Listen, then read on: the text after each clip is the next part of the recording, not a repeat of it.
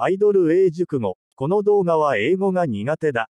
覚えるのが苦手。アイドルが好き。という方必見。アイドルを使って英熟語を覚えよう。今日はサファーフロム。suffer from, 意味に苦しむ。